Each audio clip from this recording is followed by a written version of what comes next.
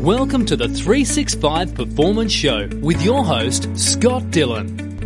Good morning, everybody. Bit cloudy today. Hope wherever you are, you've got nice weather and you're enjoying yourself.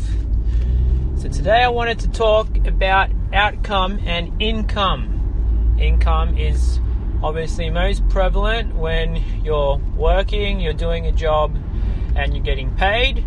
Outcome is most of the time created by your efforts and hard work.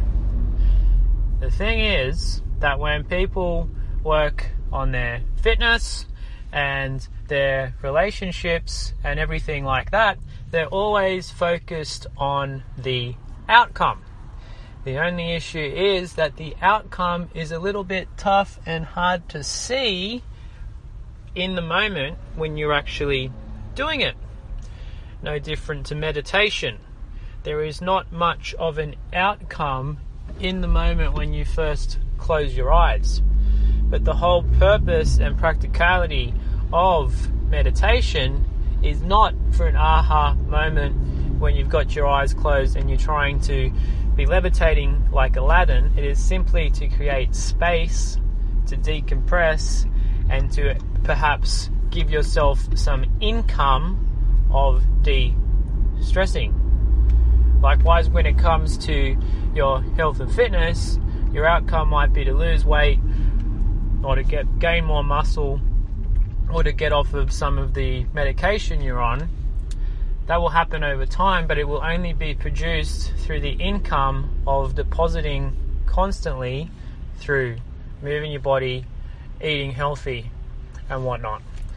And that's, I think, where a lot of us fall by the wayside because, unlike something that can give you instant gratification, the things that are most important to us very rarely allow that to happen, and that's why we find it challenging to stick to things, especially when life gets in the way. So, my question to you today is where do you need to focus more on income and depositing more constantly with some maybe daily or weekly actions that are going to help you get to your outcome. Because the thing is, if you focus more on just the depositing of the good things into your life, whether that be training every day, whether it be eating your five vegetables, whether it be sleeping more than seven hours, whether it be drinking at least two liters of water, whether it be closing your eyes for five minutes in the middle of the day when you're in the toilet just to decompress and create space so you, you can think clearly and get more centered. By doing actions like that, creating more income, the outcome will take care of itself. Have a good day, everybody. Speak soon. Thank you for listening. If you haven't already, please head over to the365show.com where you can gain instant access to our four part video series. If you like what we're doing, please leave us a review and also make sure you're subscribed so you get kept in the loop.